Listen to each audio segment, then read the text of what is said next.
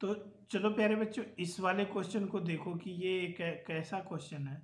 तो अगर आप देखोगे यहाँ पे तो match the list first and second को अगर मैं मैच करूँ तो गौसला इन इलेक्ट्रोस्टेट तो जो पहला पहला जो ए है गौसला हम सबको पता है गौसला क्या होता है? टोटल फ्लक्स फाइनेट अब a close surface is equal to charge enclose upon epsilon naught ठीक है?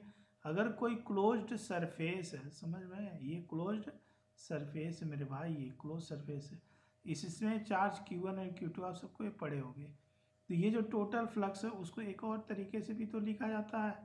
Total flux E dot D S surface area छोटा सा है और charge enclose upon epsilon naught तो ए का कौन सा मैच कर गया? ए का मैच कर गया फोर्थ बी देखो बी देखोगे Faraday law Faraday law Faraday law E M I क्या कहता था? Introduce E M F is equal to minus D phi upon D T और इंट्रोड्यूस ई एम एफ़ को मैं एक अलग अलग तरीके से लिख सकता हूँ।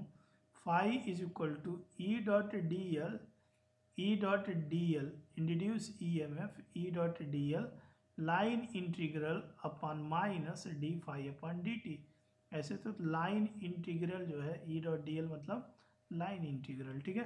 तो बी का कौन सा मैच कर गया? बी का मैच मैच गया अपना ऑप्शन फ़र्स्ट अब दूसरा जो पार्ट है, इसका तुम देखोगे पार्ट और भी तो पार्ट है गॉस लाइन मैग्नेटिज्म तो जो सी पार्ट है गॉस लाइन मैग्नेटिज्म तो जैसे गॉस लाइन इलेक्ट्रो इलेक्ट्रोस्टेट था, वैसे गॉस लाइन मैग्नेटिज्म कहता है। नेट मैग्नेटिक फ्लक्स भी थ्रो द क्लोज्ड लूप एक क्लोज लूप क्योंकि मैग्नेटिक फ़ील्ड लाइन है क्लोज लूप बनाती हैं। तो ऐसे गई होगी तो ऐसे आ भी गई होगी। तो अगर ऐसे गई होगी, ठीक है तो ऐसे आ भी गई होगी भाई। नॉर्थ से इधर निकली होगी, ठीक है, ऐसे नॉर्थ से अगर निकली होगी तो ऐसे आ, ऐसे आई होगी। उल्टा बना दिया मैं। समझ रहे हो ना? तो ये क्लोज लूप में मतलब B dot B dot D A करोगी एरिया वेक्टर एक क्लोज लूप में बी डॉट ए एक क्लोज पाथ में B dot D L that is everything equal to zero ठीक है? तो गॉस लाइन मैग्नेटिज्म मतलब ये ऑप्शन थर्ड है। तो एम्पियर सर्क्यूटर लॉ मतलब थर्ड हो जाएगा। एम्पियर सर्क्यूटर लॉ क्या होता है भाई?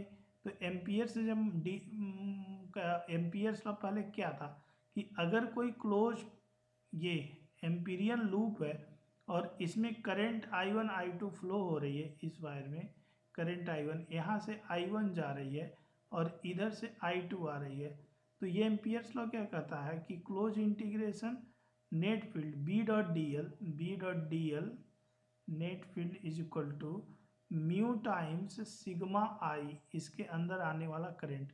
तो ये यहाँ से देखोगे तो B dot D L is equal to B dot D L और यहाँ से म्यू नॉट तो नेट करंट आई अब यहाँ पे conduction current plus displacement current हो जाएगा, ठीक है? तो mu naught I conduction current को मैं लिख सकता हूँ by rate of flow of charge D Q upon D T और डिस्प्लेसमेंट करंट को मैं बड़े आराम से लिख सकता हूँ epsilon not d phi upon dt, the rate of change of flux तो यहाँ से तुम इसे मल्टीप्लाई करोगे तो म्यू नॉट आई सी और plus mu naught epsilon naught D phi upon D T बड़े आराम से। तो ये जो नया इक्वेशन बना है, ये नया इक्वेशन क्या है? मॉडिफाई एम्पियर्स और मैक्सवेल इक्वेशन है, ठीक है? मतलब ये फोर्थ ऑप्शन सही है। मतलब अब देखो ए का ए का फोर्थ है तो ए का फोर्थ है मतलब ये सही नहीं हो सकता, ये सही नहीं हो सकता, ये सही नहीं हो सकता और डी का थर्ड है डी का डी का थर्ड है मतलब ये ऑप्शन सही है। तो आई होप कि आपको मज़ा आ गया होगा, समझ में आ गया होगा इलेक्ट्रोमैग्नेटिक वेव इसके बाद हम ई एम आई सॉल्व करेंगे और सबको एक ही प्लेलिस्ट में जोड़ दूँगा और आप यूट्यूब पे कोई दिक्कत है तो यूट्यूब पे सर्च कर लिया करो ना। जो टैग लाइन मेंशन रहता है तो यूट्यूब पे सर्च करोगे तो तुम्हें मिल जाएगा मेरा वीडियो क्योंकि लॉन्ग टाइम बाद वीडियो बहुत ज़्यादा हो जाएगा तो तुम्हें दिक्कत आएगी तो यूट्यूब पे सर्च कर लिया करो। Thank you bye bye take care